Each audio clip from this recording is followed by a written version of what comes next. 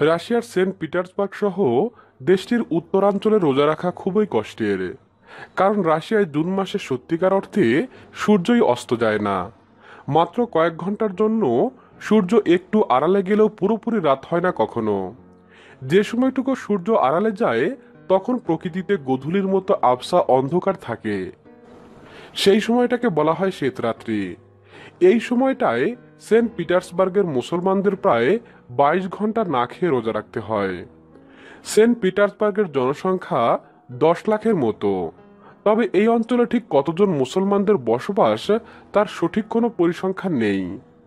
স্বরাষ্ট্র মন্ত্রণালয়ের হিসাবে গত বছর ঈদুল ফিতরের জামাতে এখানকার প্রধান দুটি মসজিদে বিয়াল্লিশ হাজার মুসলমান নামাজে শরিক হয়েছিলেন।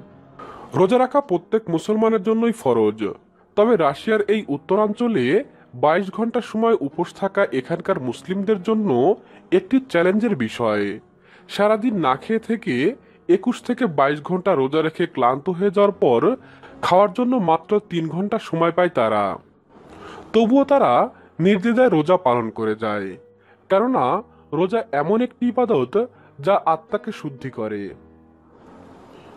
স্থানীয় একজন মুসলমানের কাছে এমন প্রশ্ন করা হলে তিনি বলেন, রোজা রাখা আমাদের কাছে সকালে ঘুম থেকে উঠে দাঁত ব্রাশ করার মতোই সহজ।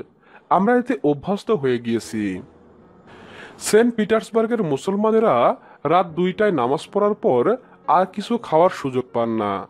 এরপর একেবারে রাত সাড়ে দশটা বা এগারোটার দিকে তারা ইফতার করতে বসেন।